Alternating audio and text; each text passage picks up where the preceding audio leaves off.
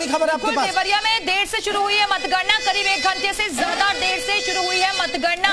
पहले राउंड की मतगणना शुरू और बीजेपी से डॉक्टर रतन पाल सिंह है उम्मीदवार सपा से डॉक्टर कफील खान है यहाँ के उम्मीदवार। तो बड़ी खबर देवरिया से जहाँ देर से मतगणना शुरू हुई है।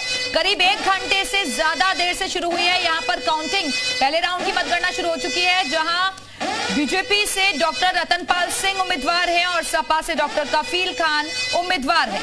तो कई जगह ऐसी हैं जहाँ पर अभी तक काउंटिंग ही शुरू नहीं हुई है। कई जगह ऐसी हैं जहाँ पर देरी से शुरुआत हुई है और कई इलाके ऐसे भी नज़र आ रहे हैं जहाँ पर रुझान आने भी शुरू हो चुके हैं। लेकिन मुख्य मुकाबला ज़ाहिर तौर पर कई सीटें ऐसी हैं जहाँ पर बीजेपी और निर्दलीय के बीच ही नज़र आ रहा है। समाजवादी पार्टी ने एक तरीके से हथियार अपने डाल दिए हैं नतीजों से पहले ही। तो करीब एक घंटे से ज़्यादा का वक्त हो गया लेकिन अभी भी देवरिया में मतगणना एक घंटे जा, से ज़्यादा देर से शुरू हुई है। और उससे पहले झांसी की भी हमने खबर दिखाई थी कि इस तरह झांसी में भी काफ़ी देर बाद यहाँ पर काउंटिंग शुरू हुई है। ऐसे में बड़ा सवाल उठ रहा है हालाँकि प्रशासनिक अधिकारी की तरफ़ से कोई जवाब नहीं आया है ना ही तो अभी किसी उम्मीदवार ने इस पर ऐतराज जताया। लेकिन यह बड़ी खबर झांसी की और देवरिया की हम आपको बता रहे कि आठ बजे का वक्त था लेकिन उसके बाद अब जाकर यह काउंटिंग शुरू हो रही है। बिल्कुल, और झांसी से ही अहम खबर है। अब तक यहाँ काउंटिंग ही शुरू नहीं हुई है। अभी अभी खोली गई मतपत्रों की पेटिया, और देवरिया में एक घंटे से ज़्यादा देर से शुरू हुई है मतगणना। यानी कि सुबह आठ बजे का वक्त तय था काउंटिंग के लिए, लेकिन एक घंटे देरी के साथ इसकी शुरुआत हुई है तो ज़ाहिर तौर पर नतीजे भी देरी से ही आएँगे।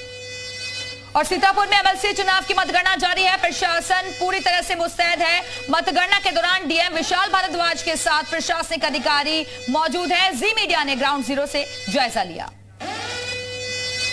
ये आपको दिखाना चाहेंगे, यहाँ पे सुरक्षा व्यवस्था के पुख्ता इंतज़ाम हैं।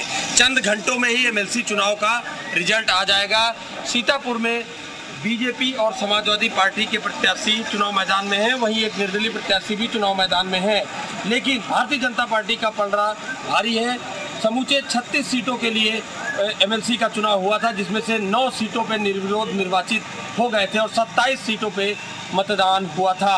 अभी चंद घंटों बाद भी सीतापुर के एमएलसी चुनाव का परिणाम आ जाएगा। और किसके चेहरे पर ताज सजेगा यह देखने वाली बात होगी। राजकुमार दीक्षित जी मीडिया सीतापुर।